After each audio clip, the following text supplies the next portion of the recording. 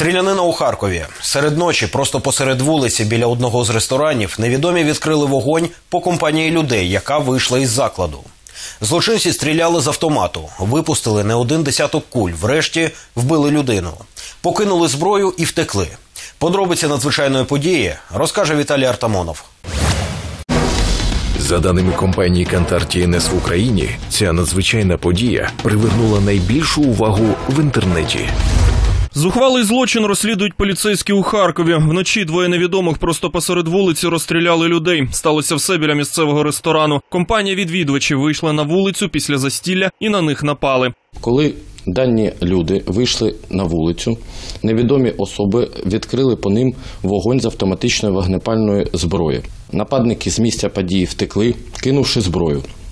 По місту було терміново введено оперативний план Сирена на затримання вказаних злочинців. Зловмисники випустили в бік компанії кілька десятків куль, влучили у двох людей. Обоє постраждалих іноземці мали дозвіл на тимчасове проживання в Україні. В результаті стрілянини 32-річний громадянин Азербайджану отримав смертельне поранення в голову. Його товариш, 38-річний громадянин Грузії, отримав кулю в ногу. Після стрілянини зловмисники кинули зброю і втекли. Місцева поліція оголосила план Сирена. Злочинців розшукують. Тим часом за фактом вбивства вже відкрили кримінальне провадження. До слова, поранений чоловік раніше мав проблеми з законом і вже сидів у в'язниці за вбивство. Тож у поліції не відкидають, що мали місце так звані розбірки криміналітету. Всі обставини події ще з'ясовуються.